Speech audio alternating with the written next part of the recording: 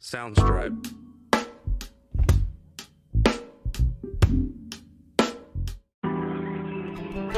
Yeah. Back again. And we ain't never gotta worry, it's all up from here now.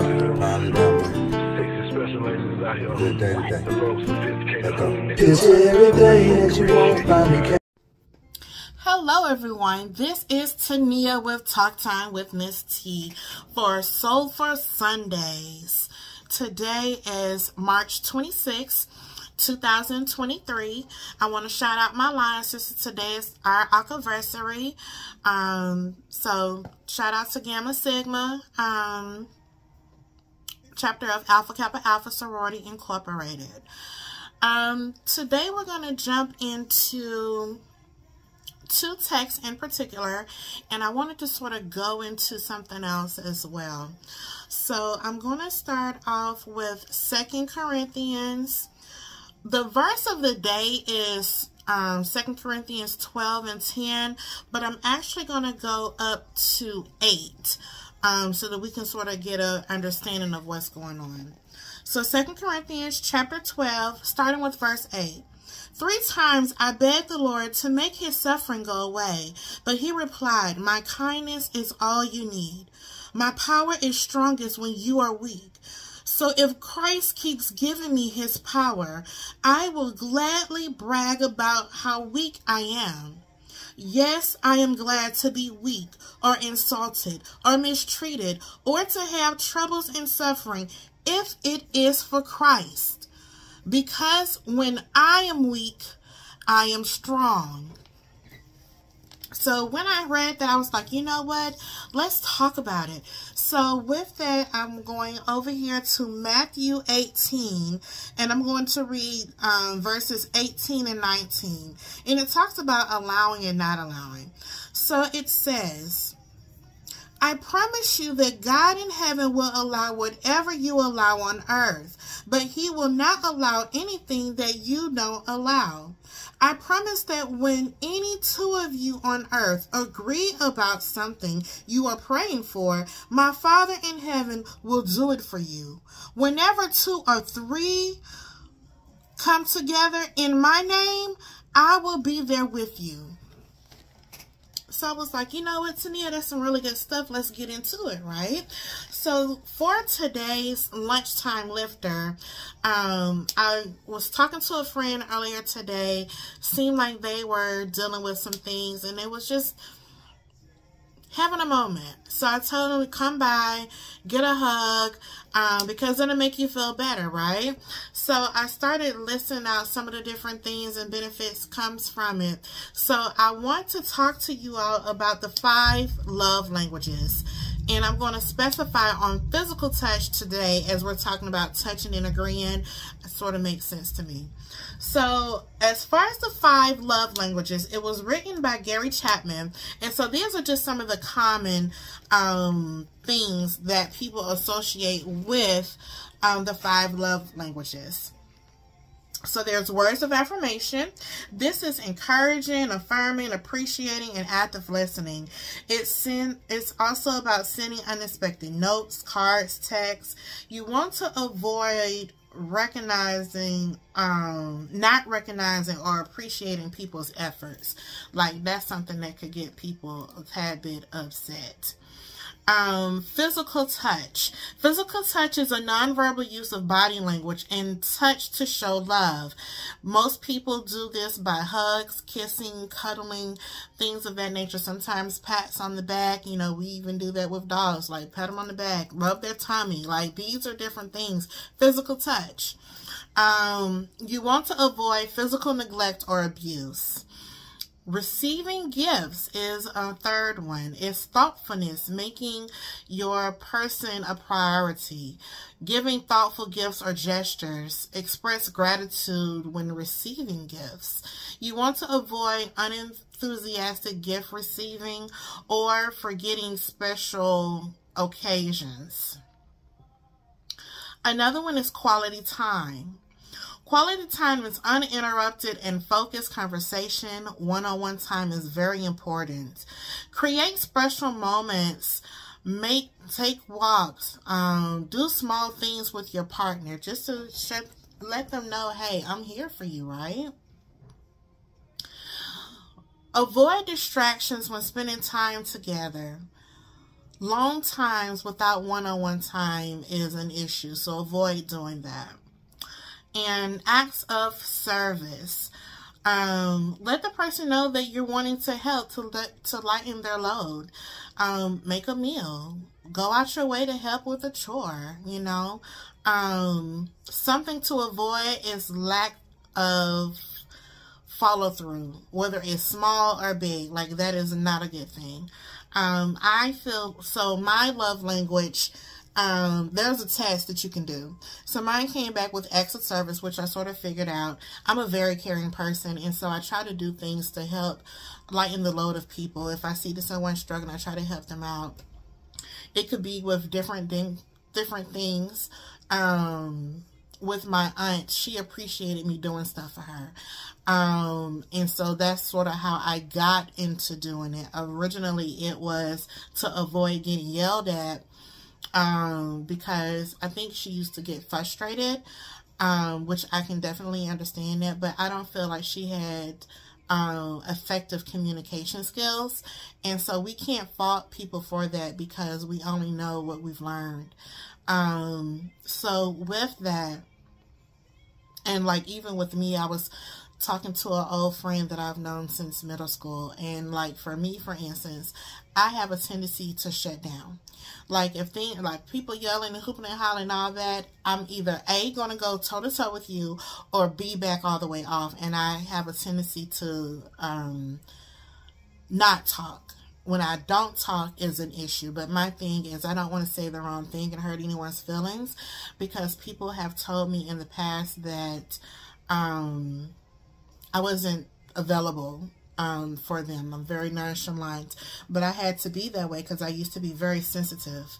Um, and things would hurt my feelings and I kept that bottled up and even now as an adult that's not good um, so I try to avoid getting in confrontations um, or situations that just don't serve me um, words of affirmation is good. So, with that being said, I want you all to click, like, share, comment. Let me know how I'm doing. You know, I'm on multiple platforms. I'm on YouTube at Tatnai W. I'm on TikTok, Tatnai W. I'm on Facebook, Tatnai LLC. I'm on Instagram, Tatnai LLC underscore ATL. Let me know how I'm doing. If there's something that you want to talk about, let me know so that I can research it and we talk about it. One of the things that I realized is that for a long time, I don't feel like I had a voice. When my aunt passed away, she used to be my voice. I was an advocate for things, but as far as needing action behind it, she was that person for me. And when she transitioned, a part of me died with her because it's like now who's going to protect me as far as like words are concerned. There was friction like growing up in our household and when something would go wrong, she would say, say Helen said, and that was the end of things. And like things became really light. Like it took an extra level of stress off of me. And um, like with my mom, my mom's ministry was gift giving. Even if it was a $2 bill, like that's something that she enjoyed doing. And my aunt as well. My aunt, I think she was a gift giver as well. You could have a conversation with her. She, she listens well. Didn't talk well, but as far as talk well, as far as like communicating is concerned. But great listener. You could talk to her about anything, and next thing you know, she has what you need to make your burden light. And so, um, you know, I really miss that. Um, quality time. Oh, that's a good one. Uh, one thing that I really miss about my aunt is quality time. Every November, like for the past five years um, before she transitioned, we would take a day trip down to Columbus to go grocery shopping at the military base because they closed up Fort Gillem and Fort McPherson, which she used to do on her own. But as I got older and was in college, we would go to the grocery store together so I could pack up stuff and take it back down to Albany State. And um, after I moved out and had my own house, like for Thanksgiving, she would re up on all the stuff that she needed because that's when she was starting to like prepare for the holidays. And so in November, which just so happened to be my birth month, and it would be like in the beginning of November, so usually around my birthday, um, we would take a trip down to Columbus, go grocery shopping, um, fuel up, go get something to eat, and then come back home. And for most people, it was like y'all spent all day grocery shopping. It wasn't about the grocery trip. It was about the quality time. And we did it old school, like how my grandma used to do. Like we would go up and down the different hours, and like she would go her way, I would go mine. But with that, um, at the end of the day, she would be like, you getting a buggy? At first I would be like, no, I'm just here to take you. My buggy would be bigger than hers. I'm like, do you have room in your buggy? I miss those days. Um, you know, even just stopping by the house. Like we had an open door policy at the house. Like you could come over, sit down, talk, watch TV, have a meal. She used to have a home daycare and so she would cook. And so people just come over and like just eat. And I so miss that so much. Um, but that's an overview of the five love languages. So going back to what I was talking about, I'm going to talk about physical touch. So they actually have um, physical um like touch therapy like there are people that like go out and like give hugs um like as a profession like going around hugging people. And i'm just like oh wow you can make money off that? Like that's what's up. I would not recommend that in covid but you know that's a thing. So some of the things that people um need to know as far as touch therapy it helps um relieve anxiety and stress. It helps wound it helps wounds heals faster. It improves the immune system and function it reduces pain. It helps reduce nausea, fatigue, and other side effects from chemotherapy. It improves symptoms of chronic disorders such as fibromyalgia and lupus. And it also reduces fatigue to help you get better sleep. So one of the things that comes to mind is like massages, right? So I don't know. So last year I came up with, I was last year, so I'm working on my wellness as well. I used to be a wellness coordinator, um, I'm sorry, a wellness coach um, at my job. And so, and even when I used to work at Walgreens, I used to, as a manager, I used to try to build the morale of the people because if your people are not good, it makes your job that much harder. And so one of the things that I realized back then is people, like some of my best workers, they weren't getting paid a lot of money and they were struggling a lot. And I feel like they really showed up for me, helping me get things done around the store. And so I would have Fiesta Fridays where I would cook a meal and have it for lunchtime. So like how I'm doing lunchtime lifter, I've been doing that since long time ago when I was a manager at Walgreens back in 07. Um, up until I left in 2012. And that was to finish school.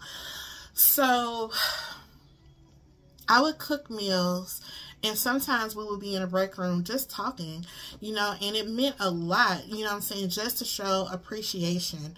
And even on days when I would be off, my mom would go up there with me so we could drop it off so they got to know my mom. My uncle would stop by just to see how my staff was doing, you know, because I used to talk about them because one of the things that I like is like work relationships because you're with them majority of your day. Like you're supposed to sleep for eight hours, you're working for eight hours, and then like the other time you got to cram everything else for your family and for this. And you know, people, you know, would talk to me about things even back then, you know, that people wouldn't realize what's going on.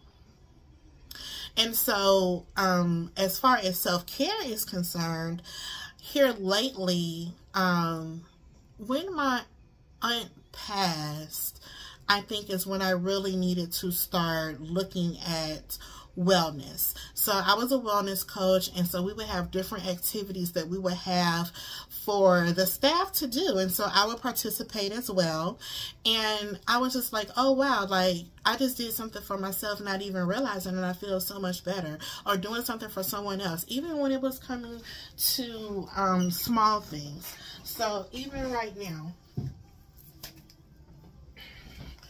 So I still have my gratitude jar that I made two years ago, right?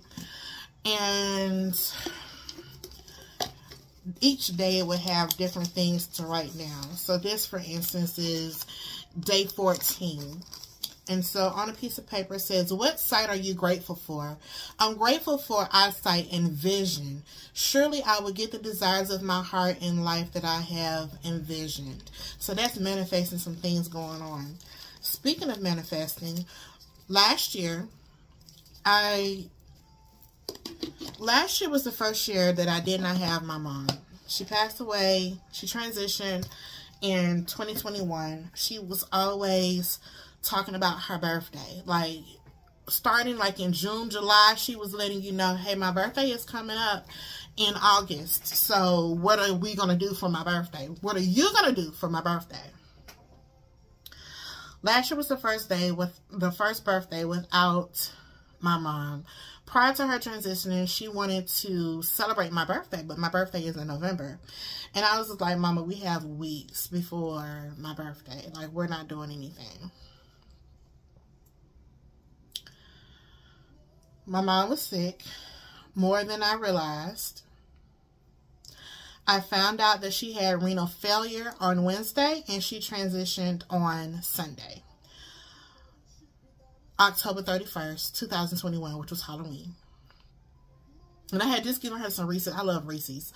And so um, I had just given her some Reese cups that she could pass out because she always liked to give people stuff. And she was giving away money. And I'm like, Mama, you cannot, you, we don't have money for you to be giving away. So like when I would get her like the Coca-Colas, like she's constantly giving them away or constantly giving out her cigarettes. And I'm like, stop giving stuff away. Like this stuff costs money. And so I gave her some Reese's for her to pass out for Halloween so she could have something, right? And so like she lit up like a Christmas tree and I'm just like, okay, like cool, right? And plus I would have a Reese when I would be there with her. And so um I love my mama. Um that morning so the night before, we went up there, we prayed, we did all kind of stuff. We had communion on that Friday. My uncles came up there, and it was just like she she she held my hand and like squeezed it because at that point she wasn't able to talk anymore and she wasn't swallowing and they were like really concerned. And so um on that Saturday, I decided I needed to go to church because I wanted to pray and like I work on Sundays. And so one of the things that I miss is Sunday worship. Um, no one has church like MEOC. That's my church, uh, Metro Evangelistic Outreach Center. We have three locations, Gwinnett, Virginia, and Atlanta. And so we have something called Pass the Peace where we will hug each other. I miss that because that was the only hug that I may be getting, you know, working from working remote, like you are just there by yourself. Like it's difficult when you don't have an outlet, you know what I'm saying? Especially like as my role as a caregiver, you know, I'm talking to difficult people on the phone and then having to turn around and be that person for my mom. So, you know, it was just like, it was a lot. And so um, I decided that I was going to go to church. That morning I was going to Walmart so that I could go and get some treats because we were going to have a trunk or treat event. And the nurse called and said, you know, she didn't make it. She transitioned. So I went out there. They were really upset because the hospice nurse um, fell asleep on the side of the road. So I got there before he did to like officially pronounce her dead. And the nurse was like, I've been calling since 2 o'clock this morning. a part of me had a relief because with my grandma, um, at 202, whether it's morning, night, I see it on tags, I see the numbers drop. I always acknowledge my grandma. I spent a lot of time with my grandma. And so I felt like I was in a sense of peace because she was with my grandma and that they were okay went there. We have a, a family. Um, she's our church family, but you can't tell me any different that she's not like one of my cousins, one of my aunts. She's also uh, one of my sorority sisters. Uh, her name is Karen. Love, love, love her. She is so thoughtful, so caring. Um, and through my mom's transition was just really on top of things um, when my mom was sick on that Thursday, when things like really started declining, she came up there. Her, my godmom, my sorority sisters, Camille and um, Shabrika, Amber, you know, they came up there and like that was my team, you know I'm saying, that I needed in that moment. And um, she, you know I'm saying, fixed my mom up. She was like, um, she had put some oil on my mom. And uh, my mom, you know, she wasn't talking, but like she was smiling and sort of trying to laugh. And I'm just like, Lord have mercy. So the day that she transitioned, she came up there, Gwen called her, and um, it was just in action, you know. And um, they were telling me, you know, this is the last day of the month. So you have to pay for this room tomorrow. and I'm just like, she ain't gonna be here. Like, why am I paying for this room? Like, that was almost $3,000 a month. And she had been there, you know, three months. I think I, she was in there in August. So you're talking about almost 10 grand in three months time. Like, I'm a normal person we don't make that kind of money. If if I had not saved up because something was I like I was stressed out and I was just like I need to get respite care. So I was trying to save up because respite care is really expensive. But I was at my wit's end. I'm just like, this is really tough. I don't know how I'm going to deal. So anyways, we went through there and got those snacks and started making bags for the community, for the church which I didn't end up getting to church that day, but I gave them out for trick or treat. Um, but, and I said to my mom, you know, as we were laying there waiting on, you know, the hospice nurse to get there, I said, Mama, you still giving. Even, even on the other side of the dirt, you still giving. And, you know, that's one of the things that I miss about her. Um, growing up, my mom and my godmom were more like sisters than friends. And that's the reason that I wanted to be in our sorority. It wasn't because of my family, because, you know, some days you can walk by and they not even say hello. You know what I'm saying? Like, if it's about our sorority, you know, they are all for it, all gun ho, you know, and people didn't even realize, oh, that's your cousin. Like I had no idea because, you know, we didn't have that type of relationship. But my godmother, I when I decided to be in a sorority, I prayed to meet women like how the relationship was with my mom and my godmom. And like Karen, like she is that person too. And so like even within my sorority as far as like my close friends like in my phone it says lifelong sisters. Like you're no longer just an ordinary friend. Like we've done life together through deaths through sickness you know through just everything. And i have been so blessed to have women in my life like that. Um even with my friend Danette um i met her it's been 10 years 11 years now and she has a sorority. And you can look at one of the other posts where i interviewed her last week. And um, we used to have a women's group. She was telling me about her idea that she wanted. And you know she was telling me about you know it was a place of healing for her. And she wanted to do something for the teens and have a discussion or what someone should have or could have told her growing up, right? And so like that was the basis of it. And we had this women women of purpose. Um where we would support each other. We would have potluck, get together, have a good time, and we would have the Teen Queen experience. Um, throughout the years. And so we would have like a book bag conf I mean a back to school conference, like book bags. The first year we gave out laptops. Thank you, Evelyn, for that. Um, clothes. We had a closet. Um, and it was just really good. And so she has a sorority now, which is AZLR.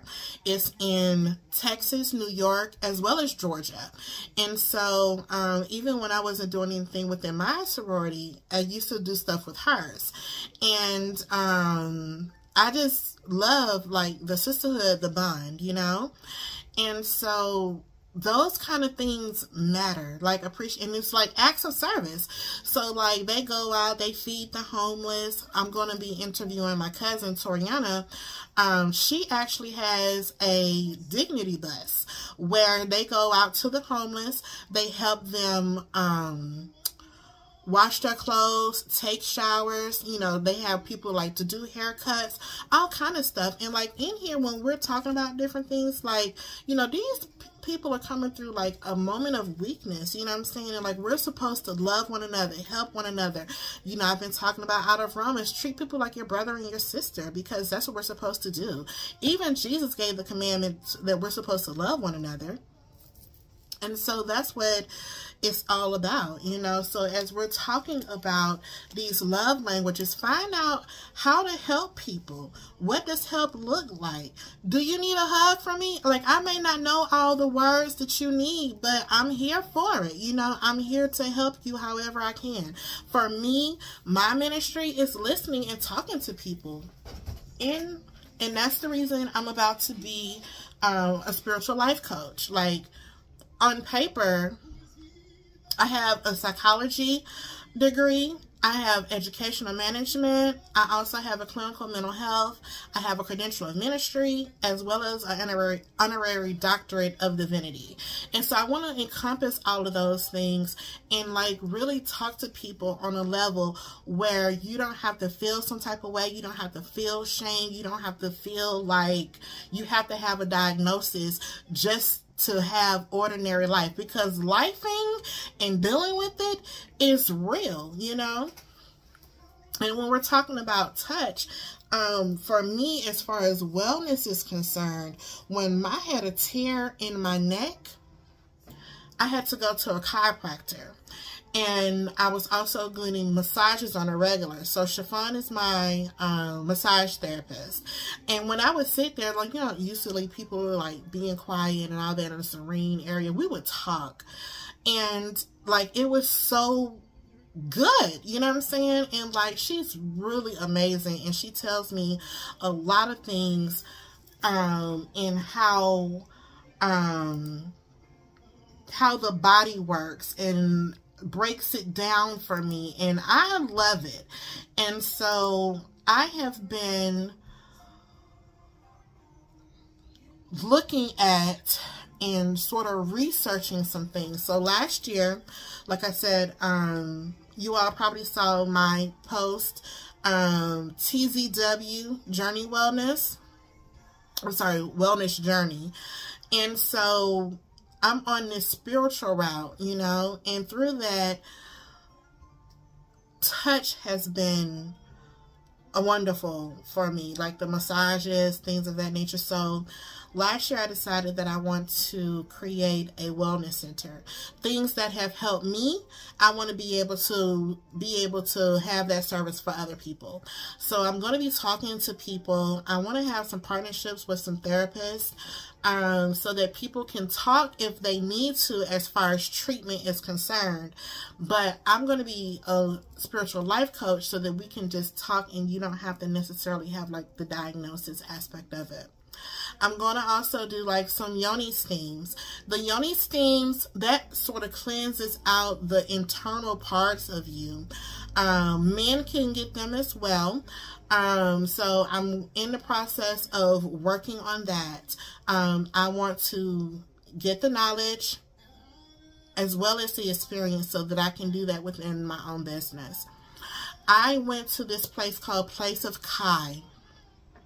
She has a salt cave and it's good for skin and relaxation and they are they're becoming more popular so i think i'm going to have a salt cave as well um, I've also been doing something what is known as Reiki, which is energy healing. Um, I realized that there is some trauma for my inner child and that um,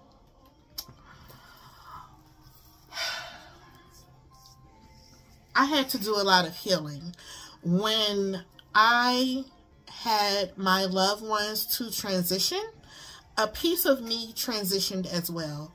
And so it's a very lonely road when you feel as if you're doing it on your own. And so I had to talk through those different things.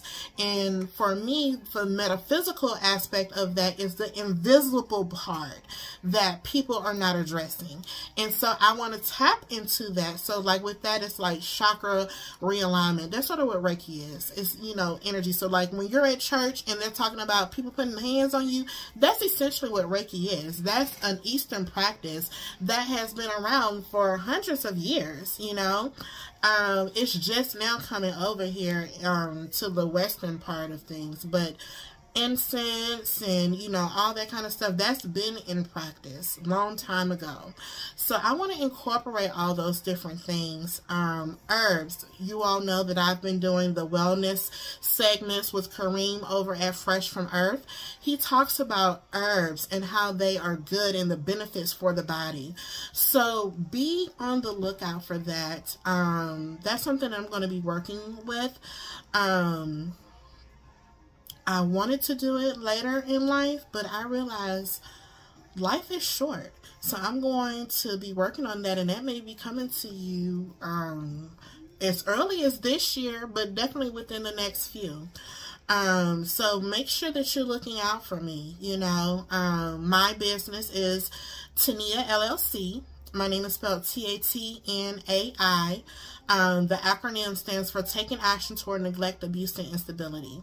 And, um, you know, that's, excuse me, something that started out as a class project um, for a grant writing proposal. Um, our class project was to come up with a business. And so during that time, um, dealing with some family members and some things that was sort of going on around me, it was going to be for domestic violence. But I realized that's not my ministry. Um, there was situations where people would be in a situation and put my life in danger um, or potentially in danger. And people are not ready to leave when you want them to leave. And so there was a, a lot of emotional baggage.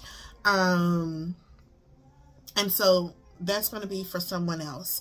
Um, however, as far as to take an action, like, I end up with my aunt because they felt like I was neglected. My mom was an only parent, you know, and and I was her only child. So like she's gonna work, I'm gonna go to school, I'm gonna go home, I'm gonna wait for her. Sometimes I waited for her. Sometimes I was out there playing and my aunt was like, What are you doing? You're supposed to be in the house. Don't nobody need to know that you're here by yourself. And so I end up and like the the the beneficial part of that is my cousin, she had just had Amber and she had like WIC or whatever. So like the stuff they didn't need, like they would bring over to the house for us, you know, so cereal, eggs, cheese, you know, and which was a blessing for us because some days we didn't have it, you know. And um our neighbor, like she watched out for me a lot. So like she would do my hair and when she realized what was going on, she would make sure that I ate. She would make sure that I was playing around with her nieces. Um, but she was also in the domestic, but like they fought all the time, loving people, but they were fighting. And, you know, like in our neighborhood, there was drugs, you know, and, you know, for me, you know, although I didn't necessarily have to deal directly with some of these things, you being in that environment has a toll on you because you see what's going on around you. And so that's where the taking action toward neglect, abuse, and instability comes from because you can be in an unstable relationship or unstable situation trying to thrive, but if you don't have the resources, then it is difficult.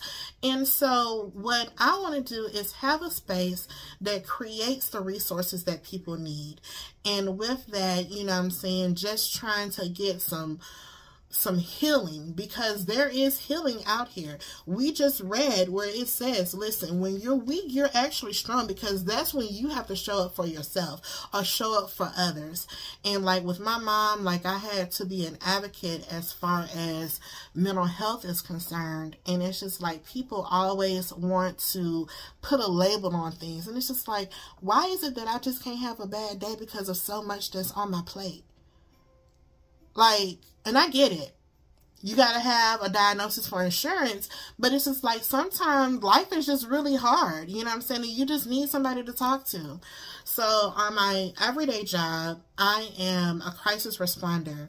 Um, people call in to me to talk because they feel like they can't talk to their loved ones or don't have anybody to talk to. And so, you know, there's a need out here for it. And so I'm going to be making some things happen. Um, I need you all's prayers that it's going to be successful. Like one of my goals, and like I used to tell people all the time, I'm going to be internationally known. Like I was talking to some people over in Africa, like through my Instagram, and I'm just like, how did you even find me? And it was like, oh, I ran across your page, and I'm like, oh, okay, cool. Like that's, I guess that's what's up. I don't know. Um, but definitely going to be something positive like mark my words something positive is going to happen. And like the other day i was just realizing how blessed i truly am. And god God has his hands on me and he's going to put me in positions and open up doors that man cannot shut and things is going to work out in my favor and I'm going to be able to help some people in the world. And that's what I want. I want something that's going to be positive. And I was talking to my mom, it's an old nurse, and he said, your mom would be so proud of you. And it made me feel good, you know, because although she's no longer with, and like they saw the struggle, um, because there was one like family friends oh you need help with anything let me know. But when it's come times for help you don't necessarily know what you need help with because you're like in this fire you know? And so um definitely going to be working on that. Um some things like i said they're going to to happen um, I believe in angels. Here lately, people are talking about spirit guides and ancestors and like the people that supported me the most are gone from the physical world. They're not on this side of the dirt anymore. I was talking to someone and it was like they're still with you. As long as you keep them alive in your heart, you can still acknowledge them. They're still here. And that's how I feel. So I know that my spiritual team is out here rooting for me and going to point me in the right direction where we're going to be able to make a mark on the world. And I'm here for it, you know? So that's that. So this has been um, Talk Time with Miss T. I want you all to have an amazing day. Um, go out and try to enjoy some of this weather. You know, it's springtime now, so um, go out and enjoy, okay? You all have an amazing day. Be blessed. Make sure you subscribe to Tatnai W. Also follow me um, in Google. So here lately, apparently I've had 53,000 um, people to like the different pictures and reviews that I've been doing. I didn't even realize that was a thing, like for you to follow or whatever. Um, but I've been going to different establishments because I go into the community with Talk Time with Miss T. So I go into the community, talk to people about health, just all kind of things. Um, even when I'm out in the community doing random things that I need for myself, I've been writing reviews because people say, oh, can you write a review for me? So I've been writing reviews for people. I need some reviews as well. But, um, definitely follow me. You know, I'm here for it. Like I said, um, finding a lot of new spots like Place of Kai that's over in Douglasville. Mention my name and you get 5% discount. Um, I did, I've been doing a series for um, Women's Month. So on International Women's Day, I decided, let me go through my phone and look at this inspiration that I have because we have people that have all kind of businesses. And this is like, let me do a spotlight. And so like people that have specialties, specialties as well as businesses for the remaining of the month, I, so for the past three weeks, I've been interviewing a different woman each day and uploading it. So make sure you go out there and look at them, but also support them because these are people out here making it happen. You know, so when we're talking about, and most of them are black women, um, and they're, and on top of that, women who have businesses. So like there is so much stuff out here that, you know, you may need help with we know people that can help with that. So I'm going to also be creating a resource list soon um, of you know somebody that does XYZ? Sure, here they are, you know. Next month, I'm going to also be incorporating some men as well because we have these men out here that have businesses too. Um, I was just promoting my cousin. His name um, is Godfrey, but he has G-Lish Catering, you know, amazing food. When I don't feel like cooking, I order from him. And the food is amazing. So therefore, I don't have to sit up here and worry about what I'm going to be eating or things like that's one thing off my plate. And I'm, I have good food. Like the other day, I was eating some steak. I've been eating some lamb. I had spaghetti. Like from gourmet to barbecue, he does it all. So make sure you look him up. He does corporate events. He does um, just all kind of stuff. Weddings, you name it, he does it. Um, so that's that. But yes, um, definitely look me up. Keep your eye on me. Um, I'm going to have some amazing things coming down the pipeline. Once again, this is Talk Time with Miss T. Have a blessed day. This has been Soulful Sundays. Bye-bye.